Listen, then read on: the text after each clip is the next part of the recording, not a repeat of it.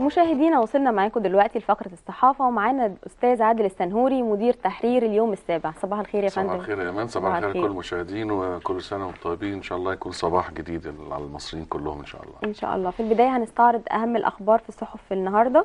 آه، في جريدة في جريدة الشروق الصفحة الأولى البرلمان يختار 60% من تأسيسية الدستور والاستشاري 40% الأخبار الصفحة الأولى المجلس العس- العسكري نلتزم بنتائج الانتخابات ونحترم اختيارات الشعب. الأهرام الصفحة الأولى. الإخوان لا صدام مع العسكري ولا تحالف مع السلفيين. اليوم السابع. الجنزوري لدينا إمكاني إمكانات لفض الاعتصامات في ربع ساعة. الشروق. مسيرة للعاملين في السياحة. تهتف السياحة رزقنا. ادي صوتك للي يرعى أكل عيشك. اليوم السابع ست أحزاب وتحالفات تنشئ تحالفا جديدا لدعم 52 مرشحا مدنيا لمواجهة التصاعد الإسلامي. الشروق الحكومة تبحث عن مقر. كده إحنا قلنا كل الأخبار. بالتأكيد يعني هي الأخبار كلها يبدو بالقضية ال- ال- بالبرلمان يعني بال- بالقضية المثارة بالظبط. يعني عندنا قضية الأيام. البرلمان قضية إعداد الدستور المجلس الاستشاري طبعا ال- القضية اللي إحنا شغلانة اللي هي قضية الحكومة يعني وتشكيل آه، الحكومة. فأنا أعتقد يعني إحنا عندنا دلوقتي بالنسبة للخبر الأول ما أثير حول مسألة من له الحق في اختيار لجنة تأسيس الدستور.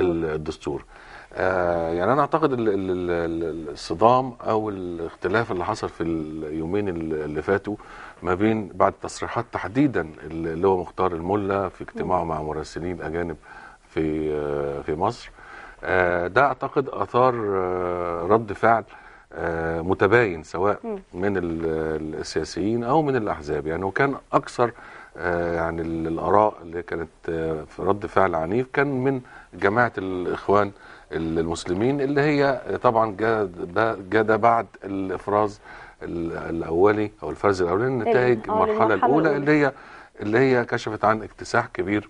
للتيار الإسلامي آه. وتحديدا لجماعة الإخوان المسلمين. فبالتالي كانت المسألة يعني هو المجلس العسكري يريد أن يطمئن يبعث برسالة طمأنة بأنه لا مش البرلمان هو اللي هيعد هيبقى الدستور 60% بس من بالظبط. البرلمان و40% من خارج البرلمان. دلوقتي هو بس خلينا بس نتكلم في مسألة قاعدة عامة. يعني من آه، له حق آه، إعداد الدستور لأن الدستور ده ليس قانون الدستور هو حالة توافق مجتمع حالة توافق اجتماعي. ال- الم- المعني به هو الشعب كله. وليس فئة معينة أو حزب معين أو حتى البرلمان. البرلمانات في العالم هي التي لا تضع الدستور. الدستور الأمريكي وضعه مفكرين وسياسيون وكتاب وأدباء وهكذا كل الدساتير اللي في العالم. أنا بتكلم دلوقتي هي مسألة ال- الصراع الآن أو الس- ال- الخلاف الآن حول من له الحق في اختيار اللجنة اللجنة التأسيسية لإعداد الدستور. الخلاف حوالين البرلمان هل ياخد نسبة الاختيار البرلمان قد إيه؟ ونسبة المجلس ال- الاستشاري اللي شكله المجلس العسكري قد إيه؟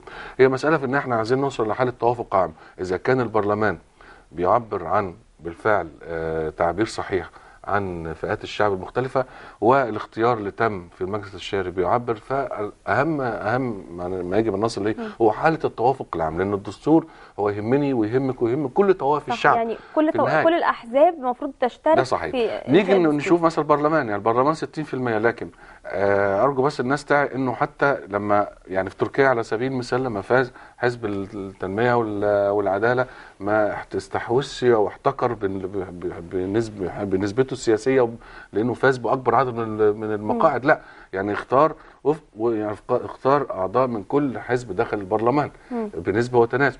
فبالتالي هي المسألة كده. يجب أن يعني يدرك الجميع إنه ال- ال- الدستور ده حالة توافق اجتماعي. دي مبادئ توافقية وليست بإصدار مبادئ إصدار قانون أو لوائح المسألة إن الكل لازم يشارك فيه إن كل طوائف المجتمع بنقابات. بنقابات آه، بأحزاب بقوى مجتمع مدني كل ده لأنه في النهاية يجب أن المجتمع يوافق عليه لأنه ده دستور المجتمع وليس دستور مجلس الشعب أو دستور المجلس العسكري فايا كان 60% من داخل الدستور. من البرلمان هو اللي هيختارها أو 40 المهم أن نصل أن يكون هناك حالة توافق مجتمع عام على آه، هذه اللجنة لأن ده اللي هيقطع دستور مصر الدائم خلال السنوات القادمة. فإحنا يعني كل ما نرجو إن إحنا نصل إلى حالة لا نصل إلى صدام مثل ال- الشهور اللي فاتت حوالين المبادئ السلم مبادئ الدكتور علي السلمي وثيقه الدكتور علي السلمي أو غيره.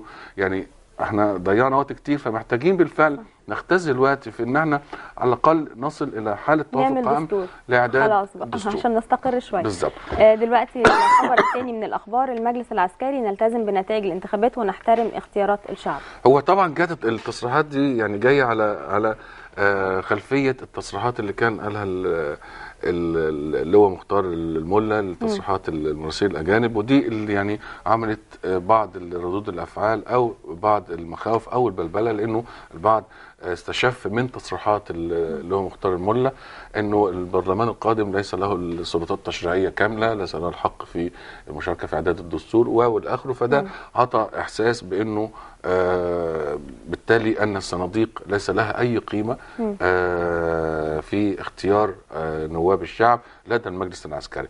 فأعتقد إن هذه التصريحات تاتي للطم- للطمأنة يعني. هي المسألة آه يعني إحنا محتاجين بالفعل يبقى في آه، مسألة تعقل في التصريحات. لازم يكون تصريحات هادئة يعني على الأقل تراعي الحالة ال- السياسية المتغيرة دايما. إحنا للأسف في مصر الحالة السياسية متغيرة بين وقت وآخر. يعني محتاجين بالفعل متحدث يعني آه، رسمي للمجلس العسكري على الأقل يعبر عما عن رأي جماعي للمجلس وليس كل شوية بنسمع تصريحات حد بي يعني يعني كل بيصعد واحد حد شوية بي- تصريح مختلف. يعني بالظبط. عايزين حد فأنا أعتقد إنه ده تصريح يعني يهدئ كثيرا آه، من الأمور لأنه بالفعل الأيام اللي فاتت حصل جدل شديد جدا وصل إلى درجة التصعيد والبعض سماها إنه ده صدام ما بين الإخوان والمجلس العسكري لكن أعتقد إن ده يهدي الأمور يعيد الأمور إلى نصابها مرة أخرى لأنه بالفعل على المجلس العسكري على الجميع ايا كان تحفظاتهم أو موقفهم. إن إحنا نلتزم باختيارات الشعب ونتائج الانتخابات.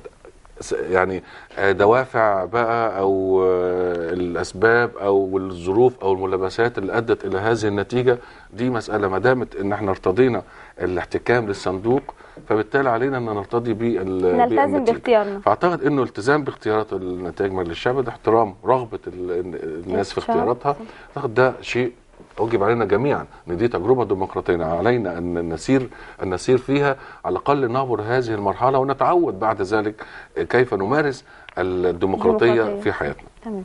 الخبر الثالث من الأهرام الإخوان لا صدام مع العسكري ولا تحالف مع السلفيين. يعني ده تصريحات أعتقد للأستاذ سعد الكتاتني الأمين العام لحزب الحرية والعدالة اللي هو حاليا الذراع السياسي لجماعة الإخوان المسلمين. يعني هو ليس مصلحة أحد الصدام.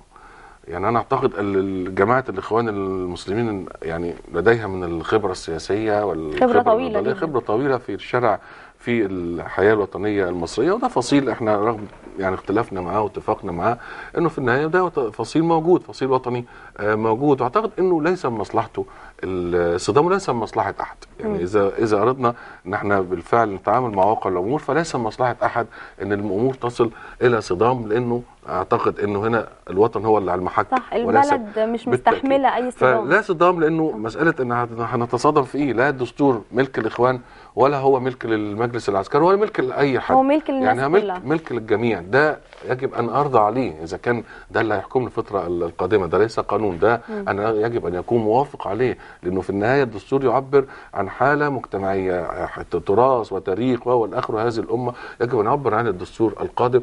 لن تحتكره فئة معينة. فبالتالي لما الإخوان يعني يقول لا صدام العسكري ليس مصلحة الإخوان آه، صدام عسكري. يعني إحنا نعتقد إن كفانا صدامات آه، في في الماضي.